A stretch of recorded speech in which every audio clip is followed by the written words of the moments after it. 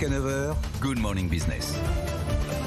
Il est 7h45, un peu de beau au cœur pour les exploitants de salles de cinéma, grâce effectivement au carton euh, de Top Gun Maverick euh, et ses 3,2 millions d'entrées simplement pour la France en une quinzaine de jours. Et je suis avec, nous sommes avec Frédéric Moget, le directeur général de Paramount Picture France. Bonjour. Bonjour, ravi d'être ici. Et eh bien nous aussi. Alors euh, parce qu'effectivement, alors on n'a pas encore vu le film parce qu'on n'a pas eu le temps. Enfin, non, je sais pas, vrai, Sandra, pas non, non, pas encore. Bon, mais en tout cas, 3,2 millions de Français l'ont vu et c'est vrai qu'on est un peu inquiet pour le cinéma français. Est-ce qu'on a des raisons d'être inquiet pour euh, les salles? On voit qu'on on avait cru à Noël en décembre dernier retrouver le niveau d'avant Covid, et en fait on est très loin maintenant. Alors très loin, je sais pas. 30% je crois. Hein 30%, mais 30% quand on sort d'une année quand même très très compliquée pour les salles de cinéma en général, on peut voir le verre à moitié plein, de se dire on a depuis mai une année complète. En une année complète, c'est plus de 150 millions d'entrées hum. euh, dans les salles de cinéma. 213 millions en 2019, qui était une année record. Donc on n'est finalement pas très loin compte tenu de, la, de la, situation. Et ce qu'on voit avec Top Gun et, avant ça, on l'a vu avec d'autres films, c'est que quand l'offre est, là, quand il y a un désir, les gens viennent en salle et retournent et reprennent l'habitude. Donc ça dépend vraiment de la programmation euh, que, que vous allez euh, installer pour euh, les, les, 18 prochains mois, par exemple. Vous êtes, vous êtes confiant pour la suite? Moi, je suis très confiant. ce, qui, est prévu? Absolument. Après, il y, a des évolutions. Évidemment, on ne peut pas dire que rien n'a changé.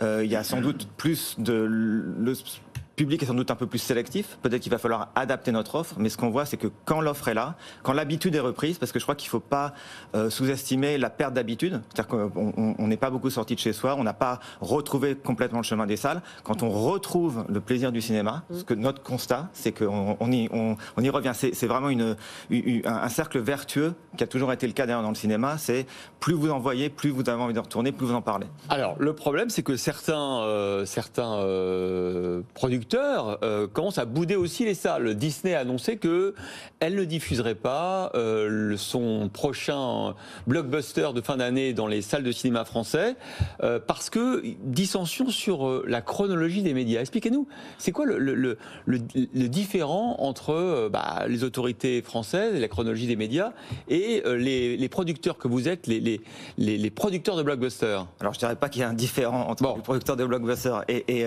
et la chronologie des médias. Je dirais d'abord que justement les studios américains, on est là depuis très longtemps en France et on a eu une influence extrêmement positive sur le marché français, sur l'écosystème français. On est des acteurs complètement vertueux.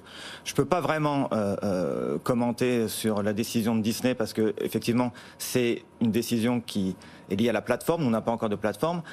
ils, disent que ça, les leur empêcherait pendant 15 mois, je crois, de mettre le film sur leur plateforme s'il était diffusé en salle avant.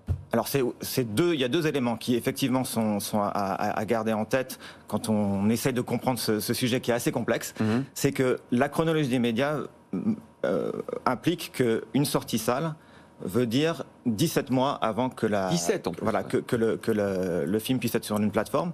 Mais ensuite, une fois qu'il est sur la plateforme, au bout de 5 mois, le film doit être retiré mhm. pour passer sur une, chaîne gratuite. Donc, ouais.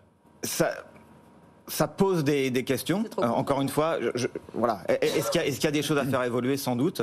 Euh, il y a du dialogue qui va avoir lieu. Il y a une clause de revoyure qui, qui est prévue en fin d'année ou en début d'année prochaine. Je pense que ça va être des discussions euh, intéressant. Bon, en attendant, vous, vous n'avez pas l'air euh, d'être d'être inquiet. Donnez-nous envie de revenir euh, en salle, euh, de parler-nous un petit peu de la, programmation, de, ce que vous vous allez proposer dans les dans les mois qui viennent pour nous faire revenir dans les salles. Absolument. Alors déjà, le, allez voir Top Gun si vous l'avez pas vu. sur le plus grand, sur le, voilà, sur le plus grand écran possible. On a eu des, chiffres extraordinaires sur ce qu'on appelle les, les, formats premium, ICE, IMAX, 4DX, et retrouver ce plaisir du cinéma d'être immergé totalement dans une dans, dans une histoire, dans du grand spectacle. Vous verrez que donc l'année prochaine, on a Mission Impossible. Euh, toujours avec Tom Cruise. Toujours avec Tom Cruise, avec ce que je peux aujourd'hui déjà dire, la plus grosse cascade de l'histoire du cinéma. Donc il faut vraiment y aller. Ça, c'est vrai que c'est vendeur. Voilà. On a le prochain film de Damien Chazelle avec Brad Pitt et Margot Robbie. C'était La La Land. Hein, C'était La La Land qui, euh, voilà, euh, qui retourne vers à Hollywood, mais au moment de la transition entre le, le, muet et le parlant, ça va être euh, fantastique. On a le reboot de Transformers, qui là aussi va être un gros événement. Donc il y a beaucoup, beaucoup de choses à voir dans, dans les salles obscures aujourd'hui. Bon, vous avez vu Top Gun, Wilfried Bien sûr. Ah, remarquable. Alors, Alors Quel spectacle, bravo. bon, bah, voilà, ça c'est fait. Frédéric Boget, directeur général de Paramount Picture France, était sur ce plateau ce matin.